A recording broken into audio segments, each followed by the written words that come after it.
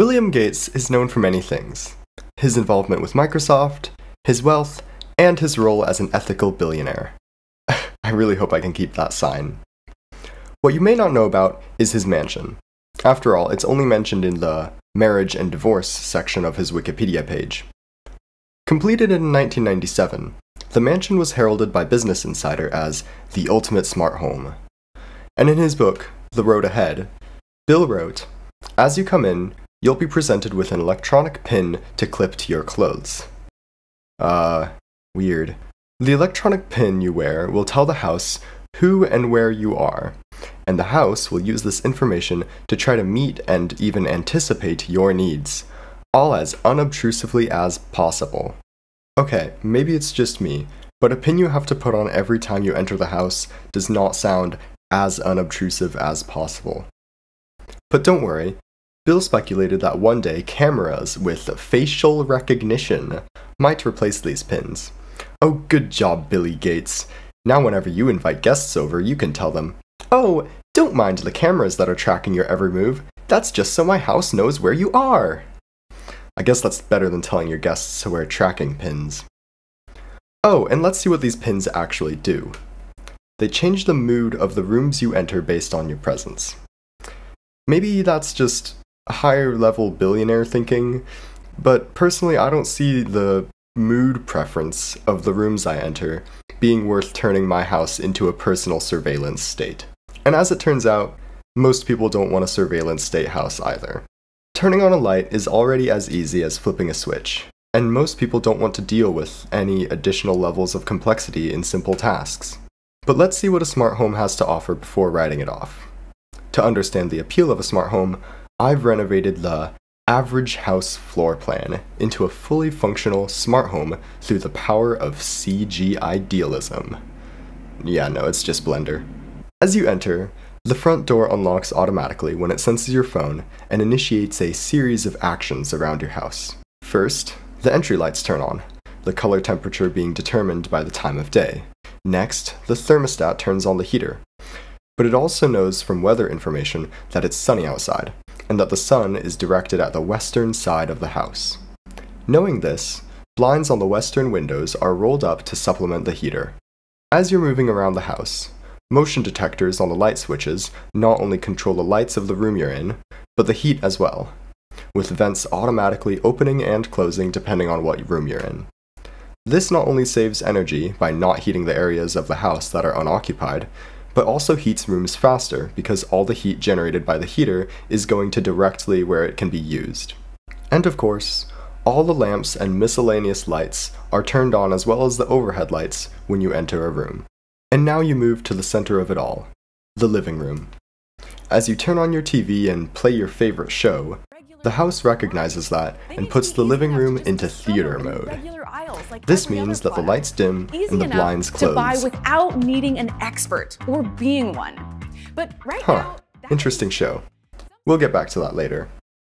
When you turn off the TV, the lights come back on, but this time they're a warmer color for the evening hours. And as you get into your room to go to bed, you touch the light switch for the first time today to turn it off. This signals to the house that you're going to bed.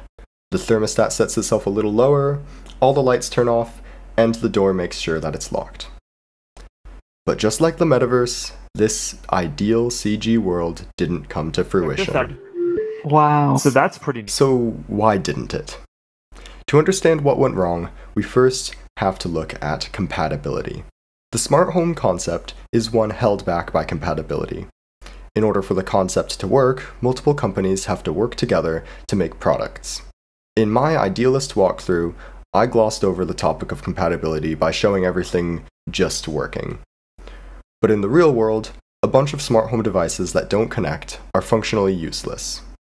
To solve this issue, smart home platforms like Apple HomeKit, Google Home, Amazon Alexa, and Samsung SmartThings were introduced. But the closed nature of these platforms created another compatibility issue. Now, device manufacturers have to choose which platforms for their device to support, with each additional platform adding complexity and cost.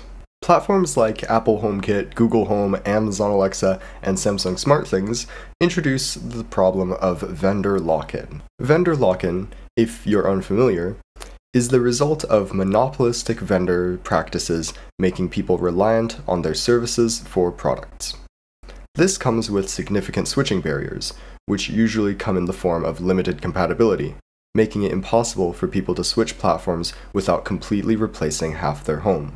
So, naturally, manufacturers decided to make things much, much worse, with their own sub platforms, like Philips Hue and Belkin's Wemo. These sub platforms introduce their own apps to control a manufacturer's devices, further segmenting the smart home space and forcing people down the trap of vendor locking. Even within these sub platforms, compatibility problems persist as products are replaced with newer versions and apps are updated to exclude older products. To combat the compatibility issue, new inter platform protocols like Thread and Matter were introduced. These platforms promised to hold together the ever expanding smart home space.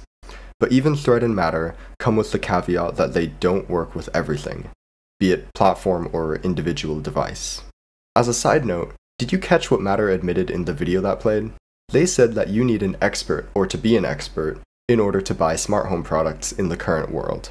While that video has been around for only half a year, some companies are still dragging their feet when it comes to supporting the Matter standard.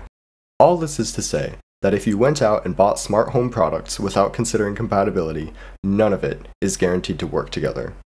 But even if you painstakingly put together a list of products that work, you'll run into other problems. Some manufacturers will require an app on your phone and all the terms and conditions that come with it. Others require a monthly subscription fee, even after you drop $60 on a light bulb. And the worst part is when your device won't be able to connect to your Wi Fi router due to incompatibility with 2.4 GHz or 5 GHz Wi Fi, leaving you completely in the dark. Quite literally, in this sense. And this theme of being left in the dark only continues into the conversation of security. I left out any mention of cameras and smart speakers from my idealist walkthrough earlier for a reason. Smart home speakers have long been known to record people and their conversations, with human reviewers sometimes listening to these recordings in order to improve speech recognition. Whether or not you're comfortable with that is up to you. Security cameras are, ironically, the worst offender when it comes to security issues in the smart home. Earlier this year, it was discovered that Eufy cameras were uploading user footage to the internet where everyone could view a live stream from people's cameras. This is despite Eufy and its parent company Anker claiming that their cameras only use local storage. Additionally, it's pretty well documented that Ring will hand over footage to police while subverting their users. In a case from earlier this year, a man in Ohio who owned Ring cameras around his home and business was asked by the local police department for footage involving an investigation. After he willingly complied with the request, he received notice from Ring that they were sending the rest of his footage to the police department regardless of his willingness. This included footage from inside the man's house that was unrelated to the investigation. With all these security issues, many people are left wondering whether or not the practical security of smart home security cameras are worth the encroachment on privacy and the recurring subscription cost. Practical security is why I mentioned the auto unlocking door in a nonchalant way. The truth is, if any intruder really wanted into the house, they could just break a window. This is where preventative and corrective action come into play. Locks, lights, and cameras all work as preventative measures against potential home intruders. Things like that dissuade intruders as they decrease any chances that a home invasion will be successful. But you don't need a security camera to have the preventative effect of security cameras. Fake security cameras, that look like security cameras but have no functional camera, are made exactly for that purpose. And of course, all the security cameras pictured here are actually fake, only serving as deterrents. Fake cameras also have the added benefit of not requiring power, network access, subscriptions, or agreement to terms and conditions. I wonder if they make light switches like that.